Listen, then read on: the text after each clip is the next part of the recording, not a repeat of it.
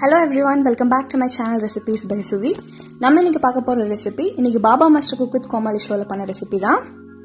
சொரக்காய் அண்ட் வெண்டைக்காய் வச்சு செய்யக்கூடிய ஒரு கோஃப்தா கறி எப்படி பண்ணுறதுன்னு வாங்க பார்க்கலாம். நான் இன்னைக்கு ஒரு பெரிய சுரக்காய் எடுத்து வச்சிருக்கேன். இதை வந்து ரெண்டாக டிவைட் பண்ணிக்கோங்க. இதில் ஹாஃப் மட்டும் நம்ம இன்னைக்கு கிரேவிக்கு ஆட் பண்ணிக்கலாம். ஸோ இந்த ஹாஃப் தான் எடுத்துக்க போகிறேன் அடுத்து இதை நம்ம நல்லா பீல் பண்ணி எடுத்துக்கலாம். ரொம்ப தின்னாக பீல் பண்ணிங்கன்னா போதும் ரொம்ப திக்காக பீல் பண்ண வேண்டியதில்லை. இப்போ சுரக்காவை நல்லா பீல் பண்ணியாச்சு. அடுத்து இதை ரெண்டாக ஓப்பன் பண்ணிக்கோங்க. உள்ளே இருக்கிற அந்த சாஃப்ட் அண்ட் அந்த சீடு இருக்கிற பகுதியை ரிமூவ் பண்ணிக்கணும். அதுக்காக ஃபஸ்ட் இப்போ ஓப்பன் பண்ணிக்கோங்க. ஒரு நைஃப் வச்சு அந்த சுரக்காய் சைஸ்க்கே நீங்கள் வந்து கட் பண்ணிடுங்க அந்த ஷேப்பில் நம்ம கட் பண்ணுறப்போ அந்த ஈஸியாக அந்த பார்ட்டை ரிமூவ் பண்ணிட முடியும். இப்போ கட் பண்ணியாச்சு. அதை வந்து உள்ளே இருந்து எடுத்துடலாம். இப்போ இந்த மாதிரி ரிமூவ் பண்ணி எடுத்து வச்சுக்கோங்க. ரெண்டு சொரக்காவையும் க்ளீன் பண்ணி எடுத்துக்கோங்க. இப்போ ரெடி பண்ணியாச்சு. அடுத்து இதை நம்ம கிரேட் பண்ணிக்கலாம். கிரேட் பண்ணுறதுக்கு சின்ன ஹோல்ஸ் இருக்கிற கிரேட்டர் யூஸ் பண்ணிக்கோங்க. இப்போ துருவ ஆரம்பிச்சிடலாம். இப்போ நான் துருவிட்டேன். அடுத்து இதை பிழிஞ்சிட்டு ஒரு பவுலில் ஆட் பண்ணிக்கலாம். இந்த வாட்டர் வந்து நம்ம தனியாக எடுத்து வச்சிடணும். அது வந்து கிரேவிக்கு யூஸ் பண்ணுறதுக்கு ஸோ எவ்வளோ பிழிய முடியுமோ அவ்வளோ பிழிஞ்சிக்கோங்க நல்லா கம்ப்ளீட்டாக இப்போ இந்த மாதிரி பிழிஞ்சிட்டு இந்த சக்கையை மட்டும் தனியாக எடுத்து வச்சிருங்க. இப்போ ரெண்டுத்தையும் டிவைட் பண்ணி எடுத்து வச்சுக்கோங்க. அடுத்து நம்ம பிழிஞ்சு வச்சிருக்க அந்த சொரக்கால ஒரு டேபிள் ஸ்பூன் இஞ்சி பூண்டு விழுது ஆட் பண்ணிக்கோங்க. அடுத்து இதில் ஒரு பச்சை மிளகா பொடியாக நறுக்கி ஆட் பண்ணிக்கோங்க. ஒரு மீடியம் சைஸ்டு பெரிய வெங்காயம் ஃபைன் ஷாப் பண்ணி ஆட் பண்ணிக்கோங்க. ஒரு டேபிள் ஸ்பூன் அரிசி மாவு ஒரு டேபிள் ஸ்பூன் கடலை மாவு.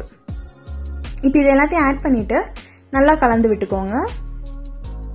அரிசி மாவும் கடலை மாவும் உங்கள் தேவைக்கு தகுந்த மாதிரி ஆட் பண்ணிக்கோங்க. எனக்கு இதுவே கரெக்டாக இருந்துச்சு. இது நல்லா ஒரு டோ மாதிரி ஃபார்ம் பண்ணிக்கோங்க. உங்களுக்கு டோ மாதிரி ஃபார்ம் ஆகலை அப்படின்னா நீங்கள் இன்னும் கொஞ்சம் அரிசி மாவும் கடலை மாவும் ஆட் பண்ணிக்கோங்க. அடுத்து இதில் ஒரு டீஸ்பூன் உப்பு ஆட் பண்ணிக்கோங்க. உப்பு ஆட் பண்ணிவிட்டு நல்லா மிக்ஸ் பண்ணி விட்டுட்டு சின்ன சின்ன பால்ஸாக நம்ம உருட்டி எடுத்துக்கலாம். பால்ஸ் வந்து நல்லா ஸ்டிஃபாக இருக்கணும். இல்லைனா நீங்கள் எண்ணெயில் பொறிச்சு எடுக்கிறப்போ சொரக்காய் வந்து உதிர ஆரம்பிச்சிடும். அதனால் நல்லா ஸ்டிஃபாக வந்து பால்ஸ் மாதிரி பண்ணிக்கோங்க. ஸ்டிஃபாக வரல அப்படின்னா அரிசி மாவும் கடலை மாவும் ஆட் பண்ணிக்கோங்க. இப்போ பால் ரெடி ஆயிடுச்சு. இதே மாதிரி ரிமைனிங் எல்லா பாலையும் உருட்டி எடுத்துக்கோங்க. இப்போ ஒரு பிளேட்டுக்கு நான் ட்ரான்ஸ்ஃபர் பண்ணிடுறேன் பால்ஸ் எல்லாத்தையும் பால்ஸ் வந்து ஈவன் சைஸ்லையும் ஷேப்லையும் இருக்கிற மாதிரி பார்த்துக்கோங்க. இப்போ பால்ஸ் ரெடி ஆயிடுச்சு. அடுத்து நம்ம பால்ஸை ஃப்ரை பண்ணி எடுத்துக்கலாம். ஒரு கடாயில் கோஃப்தாவை வந்து ஃப்ரை பண்ணுறதுக்கு தேவையான அளவு ஆயில் ஆட் பண்ணிக்கோங்க. ஆயில் நல்லா சூடானதுக்கப்புறம் கோஃப்தாவை ஒன்று ஒன்றா ட்ராப் பண்ணிவிட்டு அப்பப்போ நல்லா கலந்து விட்டுக்கிட்டே இருங்க. அப்போ தான் உங்களுக்கு ஈவன் கலர் கிடைக்கும். ஃப்ளேமை மீடியமில் வச்சு குக் பண்ணிக்கோங்க. ஒன்ஸ் நல்லா கோல்டன் ப்ரௌன் கலர் வந்துருச்சுன்னா நம்ம கோஃப்தாஸை ரிமூவ் பண்ணிவிட்டு நம்ம கறி செய்ய ஸ்டார்ட் பண்ணிடலாம். கலர் சேஞ்ச் ஆக ஆரம்பிச்சிருச்சு. கலந்து விடுறப்போ உடையாத மாதிரி கலந்து விட்டுக்கோங்க. இப்போ கோல்டன் ப்ரௌன் கலரில் வந்துருச்சு. இதை நான் ரிமூவ் பண்ணிக்கிறேன். இதே மாதிரி ரிமைனிங் எல்லா பால்ஸையும் ஃப்ரை பண்ணிக்கோங்க. பத்துலேருந்து பதினஞ்சு வெண்டைக்காய் எடுத்துக்கோங்க. ஃபஸ்ட்டு வெண்டைக்காயில் இருக்க மேல் பகுதியும் கீழ்ப்பகுதியும் கத்தியில் வச்சு நறுக்கிடுங்க. அடுத்து ஒரு இன்ச்சு ஹைட்டுக்கு வெண்டைக்காவை நறுக்கிக்கோங்க. இப்போ வெண்டைக்காய் நறுக்கியாச்சு. அடுத்து நம்ம இதை வதக்கிக்கலாம். ஒரு கடாயில் ரெண்டுலேருந்து மூணு டேபிள் ஸ்பூன் வரைக்கும் ஆயில் ஆட் பண்ணிக்கோங்க. ஆயில் நல்லா சூடானதுக்கப்புறம் நம்ம நறுக்கி வச்சிருக்க வெண்டைக்காவை ஆட் பண்ணிக்கலாம். வெண்டைக்காவை ஆட் பண்ணிட்டு நல்லா கலந்து விட்டுக்கோங்க. இந்த ஸ்டெப் எதுக்குன்னா வெண்டைக்கால் இருக்க அந்த வலுவலுப்பு தன்மையை ரிமூவ் பண்ணுறதுக்காக தான் ஸோ இப்போ நல்லா கலந்து விட்டுக்கோங்க. அடுத்து இதில் ஒரு டீஸ்பூன் உப்பு ஆட் பண்ணிக்கோங்க. உப்பு ஆட் பண்ணிட்டு வெண்டைக்காய் குக் பண்ணுறப்போ ரொம்ப டேஸ்டியாக இருக்கும். இப்போ உப்பு ஆட் பண்ணியாச்சு. அடுத்து இதெல்லாம் மிக்ஸ் பண்ணிக்கோங்க. இதில் ஒரு three to five minutes cook பண்ணிங்கன்னா போதும். கரெக்டாக இருக்கும்.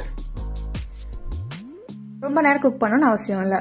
இப்போ ஷேப்பும் நல்லா சுருங்கிடுச்சு. வெண்டைக்காய் நல்லா குக் ஆயிடுச்சு. இப்போ இதை நான் ரிமூவ் பண்ணிக்கிறேன். ரிமூவ் பண்ணி தனியாக ஒரு பிளேட்டில் எடுத்து வச்சிருங்க. அடுத்து ஒரு சின்ன மிக்சி ஜாரில் பெரிய வெங்காயம் ரெண்டை நாலாக வெட்டிட்டு ஆட் பண்ணிக்கோங்க. அடுத்து இதில் பத்துலேருந்து பதினஞ்சு முந்திரி பருப்பு ஆட் பண்ணிக்கோங்க.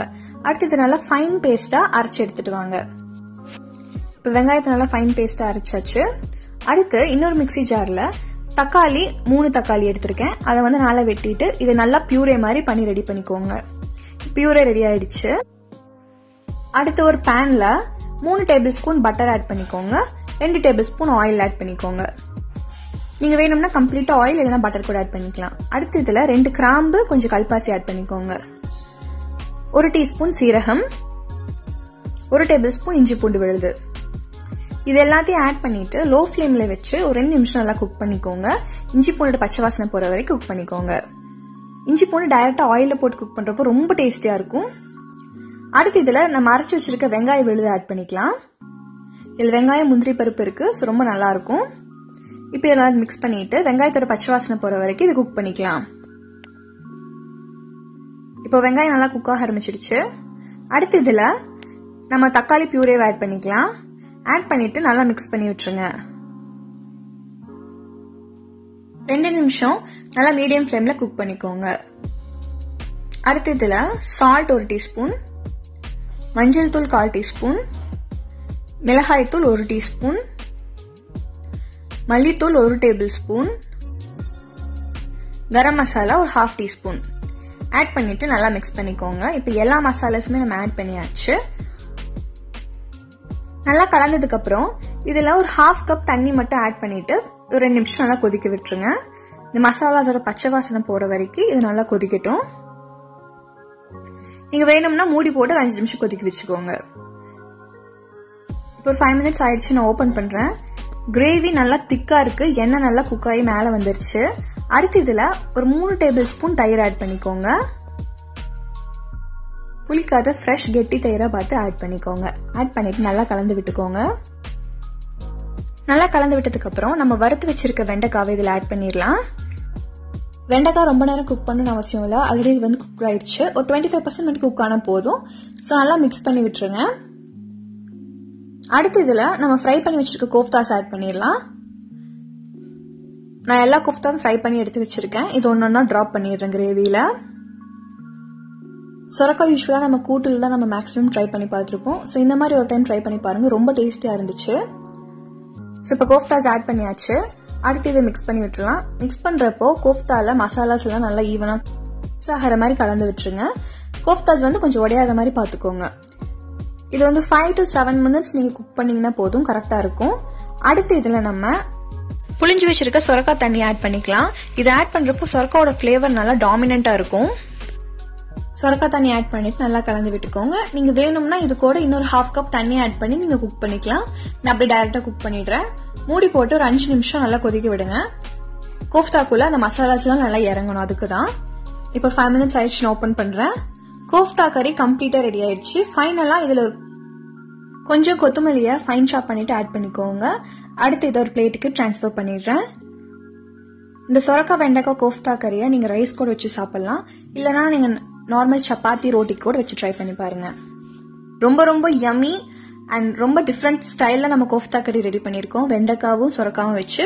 ஸோ இந்த ரெசிபி கண்டிப்பாக வீட்டில் ட்ரை பண்ணி பார்த்துட்டு எப்படி இருக்குன்னு கமெண்ட்ஸில் சொல்லுங்கள் இந்த ரெசிபி பிடிச்சிருந்ததுன்னா என்னோட சேனலில் சப்ஸ்கிரைப் பண்ணுங்கள் அடுத்து ஒரு சூப்பரான குக் வித் கோமாளி ரெசிபியோட உங்களை மீட் பண்ணுறேன் until then it's bye from me Shweta see guys in my next video